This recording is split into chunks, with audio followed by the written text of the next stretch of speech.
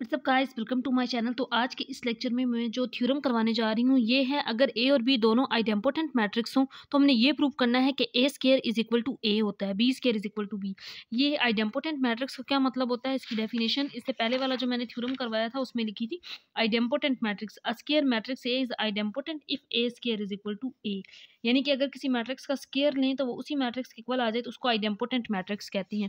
इससे पहले हमने ये प्रूव किया था कि अगर ए भी आइडेम्पोटेंट है बी भी आइडेम्पोटेंट है और ए बी बी एक इक्वल है तो ए बी आइडेम्पोटेंट होगा। ये इसका फ़र्स्ट पार्ट था। इसमें ए बी को आइडेम्पोटेंट प्रूव किया था। तो अब जो इसका सेकंड पार्ट है बच्चों, इसमें ये प्रूव करना है कि ए ट्रांसपोज अगर आइडेम्पोटेंट है तो ए भी आइडेम्पोटेंट होना चाहिए। तो बेसिकली अब हमने ये प्रूव करना है कि ए आइडेम्पोटेंट होना चाहिए। मैं यहाँ पे इसका प्रूव करने लगी हूँ। हमें कंडीशन पता है कि अगर ए आइडेम्पोटेंट है तो उसका स्केयर ए होता है। अब हमने ये प्रूव करना है कि ए ट्रांसपोज आइडेम्पोटेंट है तो ए आइडेम्पोटेंट होना चाहिए। गिवन क्या है? A transpose is idempotent given that A transpose is idempotent अगर ए ट्रांसपोज आइडेम्पोटेंट है तो इसका ये मतलब है ए ट्रांसपोज का स्केयर लिया जाए तो उसका आंसर ए ट्रांसपोज आ जाए। तो ये गिवन कंडीशन है। यही होता है ना, अगर ए आइडेम्पोटेंट है तो ए का स्केयर ए के इक्वल होता है। बी आइडेम्पोटेंट है तो बी का स्केयर बी के इक्वल होता है। अगर ए ट्रांसपोज आइडेम्पोटेंट है तो ए ट्रांसपोज का स्केयर ए ट्रांसपोज के इक्वल होगा। ये कंडीशन गिवन है। अब हमने ये प्रूव करना है कि ए आइडेम्पोटेंट होना चाहिए। We want to prove that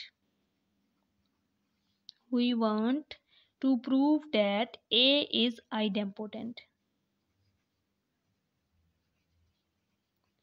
तो बच्चों, हमने इस क्वेश्चन के अंदर अब ए को आइडेम्पोटेंट प्रूव करना है।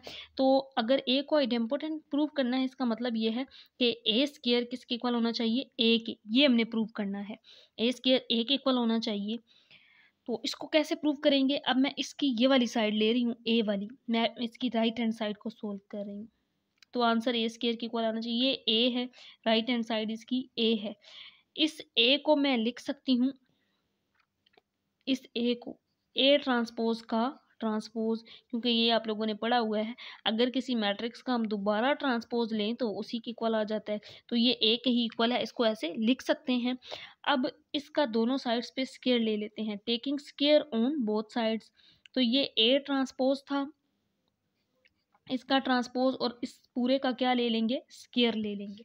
तो मैंने यहाँ पे इसका स्केयर ले लिया है। अब ये वाला ए स्केयर तो इसी तरह आ जाएगा। अब इसको मैं सिंप्लीफाई कर लेती हूँ। ए ट्रांसपोज है। अगर मैं स्केयर को अंदर ले आऊँ तो यहाँ पे स्केयर हो जाएगा ट्रांसपोज बाइट चला जाएगा। तो मैं टू को अंदर ले आई हूँ और इस टी को यानी कि बाइट ले गई हूँ। ये ए स्केयर है और ये ए ट्रांसपोज का स्केयर बन गया और ये तो क्वेश्चन में दिया गया है कि अगर ए ट्रांसपोज आइडेम्पोटेंट है, एक भैया नंबर वन में देखें, ये जो फ़र्स्ट में हमने लिखा था, अगर A idempotent A transpose idempotent है तो इसका स्केयर ए ट्रांसपोज के इक्वल होगा। तो मीन्स ए ट्रांसपोज का स्केयर किसके इक्वल है? ए ट्रांसपोज के इक्वल है फ्राम भैया नंबर वन मैंने यहाँ पे वन में जो रिज़ल्ट गिवन था, वो यूज़ कर लिया बाकी रह गया, अब इसका ये वाला होल का ट्रांसपोज और ये हमें पता है कि अगर एक मैट्रिक्स है, उसका दोबारा ट्रांसपोज लिया जाए तो वो उसी मैट्रिक्स एक इक्वल आ जाता है। तो ये प्रूव हो गया कि अगर ए स्केयर एक इक्वल है तो मैंने ये वाली साइड ली थी, इसको इसके इक्वल प्रूव कर दिया।